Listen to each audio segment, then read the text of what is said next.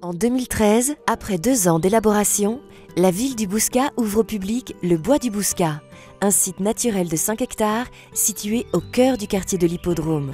Refuge de biodiversité reconnu, très vite, l'idée d'y installer des ruches s'est imposée à la ville. La mairie va retenir un projet qui s'inscrit pleinement dans l'esprit de participation citoyenne, à l'image de la démarche qui a animé l'aménagement de ce lieu, le partage de ruches. C'est un projet qu'on a voulu, euh, au-delà du côté euh, un peu euh, très visible de la collecte du miel, des rencontres entre apiculteurs, pleinement inscrit dans notre, dans notre agenda 21 dès le, dès le début, et finalement autour de, autour de deux grands axes hein, de, cet agenda, le côté environnement bien sûr, mais le côté euh, lien social. Et puis, euh, ce qu'on peut dire, c'est que c'est assez innovant, même, même très innovant. Hein. On partage des lieux, on partage des espaces, on partage des jardins, partager des ruchers c'est quand même une des, une des premières fois qu'on parle même d'adoption de, de, ruchers. Je crois qu'il y a tout le côté affectif qui vient s'y, qui vient qui vient greffer. Donc ce côté innovant nous a, nous a séduits. Le rucher partagé aujourd'hui, ou les ruches en général, ce, n'est pas quelque chose de gadget, ce n'est pas une mode forcément, mais c'est vraiment quelque chose qui a du sens, qui, euh, qui, qui, qui s'inscrit dans une logique euh, euh, de, de, pédagogie, mais aussi dans une logique de, un peu scientifique et d'écosystème. Donc la ruche, pourquoi? Parce que l'abeille aujourd'hui est un vecteur de biodiversité important et parce qu'elle s'inscrit vraiment dans notre écosystème et c'est un symbole très fort du milieu dans lequel nous vivons.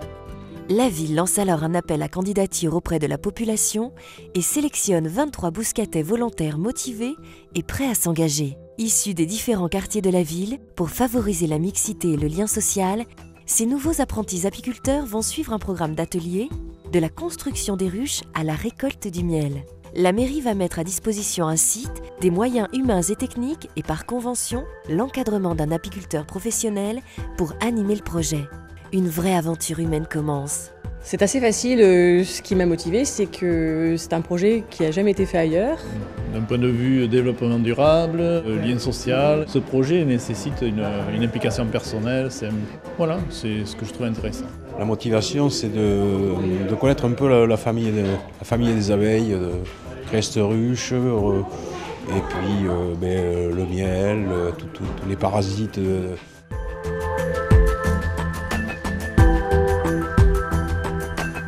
Pour construire ces ruches, j'ai amené un petit peu de matériaux parce que je bricole un petit peu à la maison. J'ai amené des chutes de bois. Moi, j'ai amené des caisses de vin euh, que j'ai récupérées dans différents châteaux. euh. J'ai amené mon matériel, pour, l'instant on ne s'en est pas trop servi, on est encore au stade de, de l'étude de la ruche, comment la faire, un projet bien spécifique.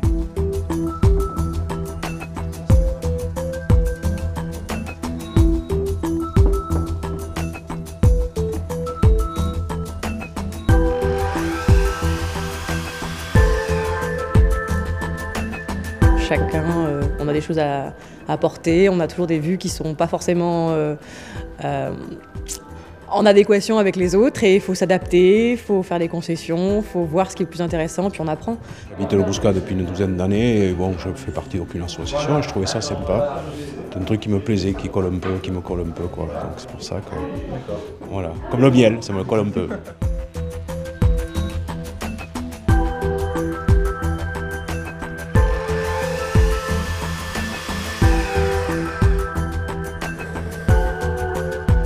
Donc, mais après, est-ce que ça va, est-ce que ça va marcher Voilà, est-ce que les gens vont y croire? Est-ce voilà, est-ce qu'ils vont s'impliquer à faire les cadres? Par exemple, il y a eu un moment donné, il y a les cadres, c'était le, travail le plus pénible. On va dire, bon, ah, il faut faire une trentaine de cadres par ruche tout ça.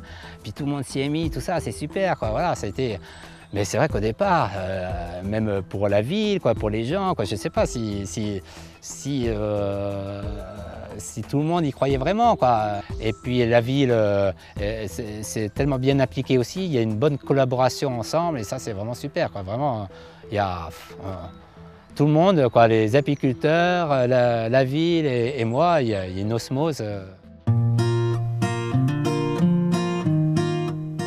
Comme ils l'ont fait pour les ateliers de construction des ruches, les apprentis apiculteurs Guy de Saint-Albin et le pôle développement durable de la mairie du Bouscat se réunissent pour définir collectivement l'organisation des ateliers apicoles.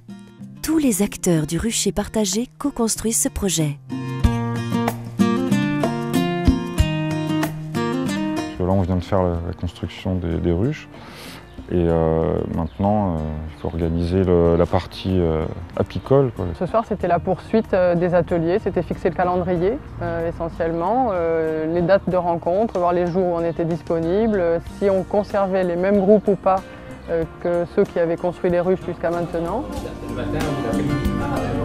Et après, c'est-à-dire que maintenant, maintenant, en cette période, c'est pour ça qu'au mois de septembre, octobre, on, on, on modifiera peut-être nos horaires. Mais là, par exemple, on peut travailler jusqu'à 6h30. Et ensuite, euh, euh, voir tout ce qui est réglementation sanitaire et réglementation administrative pour la déclaration de la mise de la ruche en place.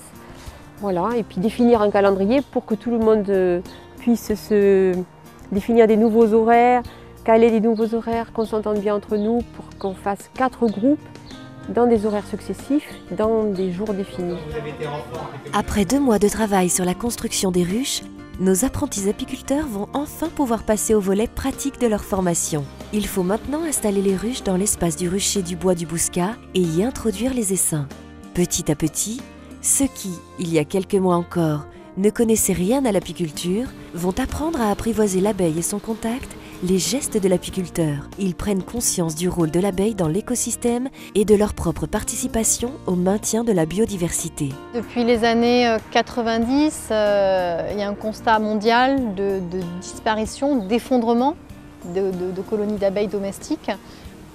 Il y a différentes causes aujourd'hui qui sont évoquées pour, pour parler de la disparition des abeilles. Maintenant, c'est assez complexe et c'est une disparition qui finalement est un peu multifactorielle.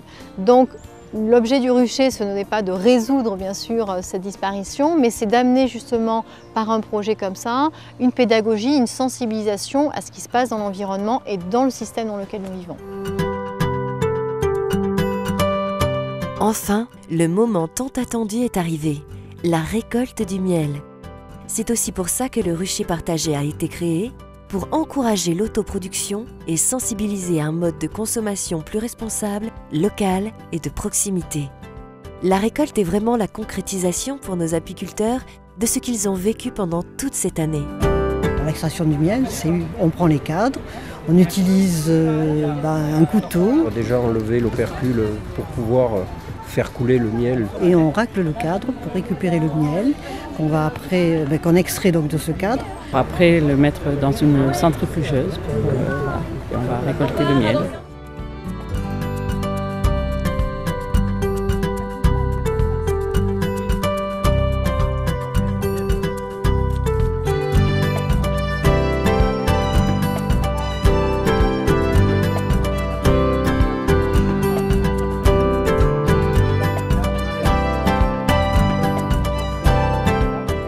Fierté d'éco-citoyen, avoir participé à un projet au Bouscat, être pilote, quelque part précurseur sur ce type de, challenge.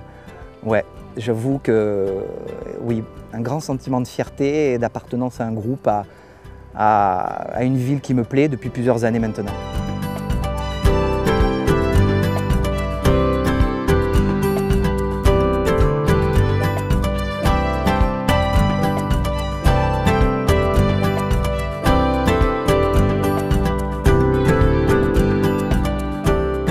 C'est l'aboutissement d'une expérience que l'on a eue pendant toute l'année. Les étapes, alors la première étape étant celle de la construction des ruches, la seconde après de, de, de, d'introduire les, les, les, abeilles dans, la, dans, les ruches.